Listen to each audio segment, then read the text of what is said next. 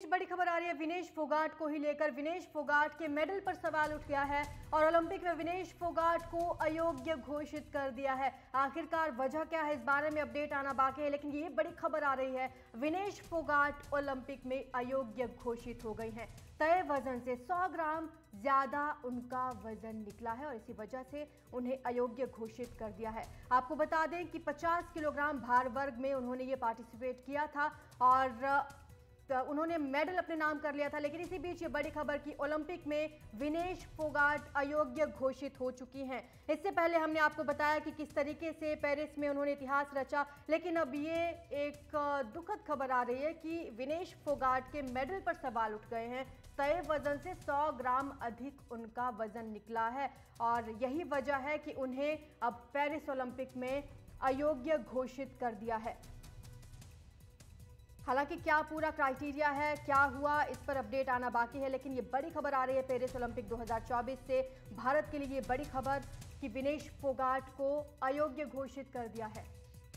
हमारे सहयोगी विमल हमारे साथ जुड़ चुके हैं। विमल, ये क्या क्राइटेरिया है जिसकी वजह से अयोग्य घोषित हुई? देखो, वो वेट कैटेगरी है ना 50 पचास किलोग्राम वेट कैटेगरी में हिस्सा लेना था, जो वेइंग इन हुआ है। उसका रिज़ल्ट बाद में आया है। हंड्रेड ग्राम कहा जा रहा है कि ओवर है। मैंने कोचेज से बात की है, मैंने जो उन, उनसे जुड़े हुए लोग हैं, उन सबसे बातचीत की है और तकरीबन ये कंफर्म है कि उनको डिस्कालीफाई किया गया ये भी बात सही है कि इंडियन रेसलिंग फेडरेशन जो है वो बातचीत करने की कोशिश कर रहा है। संजय सिंह जो प्रेसिडेंट है, वो आईओसी से मिल रहे हैं। जो कोच हैं, वीरेंद्र दहिया उन्होंने मुझे बताया, जो टीम के कोच हैं, उन्होंने मुझे बताया कि वो अभी कोशिश कर रहे हैं पूरी तरह से। और अभी उसका जो ऑफिशियल वेबसाइट है, उस पर अभी भी ये डिस्कालीफाइड लिखा नहीं गया है कि जो उनको मुकाबला खेलना है फाइनल मुकाबला सारा से अमेरिका की। वो मुकाबला अभी भी लिखा नहीं गया है ऑफिशियली तो ऑफिशियली आप चाहे तो कह सकती है कि अभी तक जो आईओसी का इंफॉर्मेशन है, वहाँ पे शायद पॉइंट वन परसेंट की गुंजाइश बाकी है, लेकिन आईओए ने, भारतीय ओलंपिक संघ ने जो लिखकर हमें भेजा है अभी अभी अभी जैसे हम बातचीत कर रहे हैं, उनका आया है, वो मैसेज वो वो कह रहे हैं कि मतलब डिस्कालीफाई हो गई है, विनेश को प्राइवेसी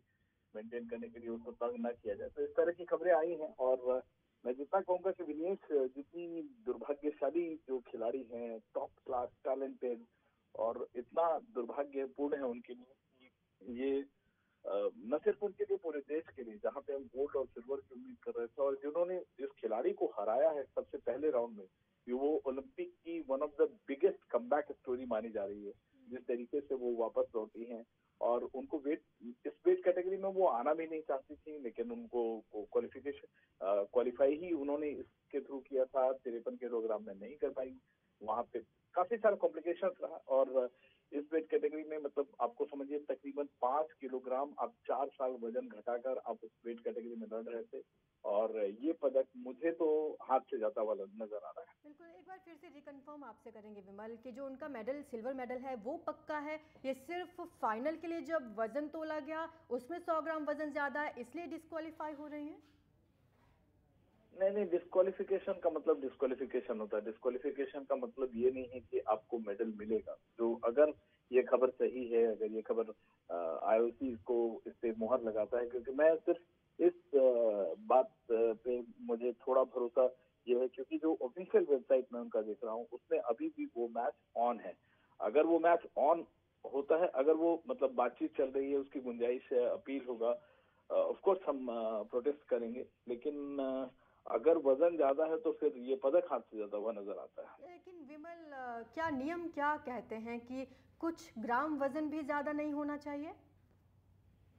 बिल्कुल, अब एक वेट वेट कैटेगरी है। अगर आप 50 किलोग्राम में खेल रहे हैं तो 50.1 नहीं हो सकता है। 50 पॉइंट पचास किलोग्राम और 100 सौ ग्राम का वज़न हो गया कि आप अगले वेट में चले गए। इसके लिए जो जो खिलाड़ी हैं, वो दो दिन पहले से, देखिए, जो ट्रेडिशन ये है कि जब भी खिलाड़ी जब जाता है तो वो अपना वेट किलो, थोड़ा सा दो तीन किलो बढ़ा के उनका बढ़ा हुआ होता है। और जो लास्ट डे लास्ट दो तीन दिन है उसमें उनको कम करने की ज़रूरत होती है। काफ़ी वो पानी पीना खाना खाना छोड़ते हैं हम्म। और एट द सेम टाइम वो आ, उनकी बॉडी का स्ट्रेंथ बरकरार रहे उसकी कोशिश करते हैं। तो एक बैलेंस कोच और जो टीम है उनकी निकालती है।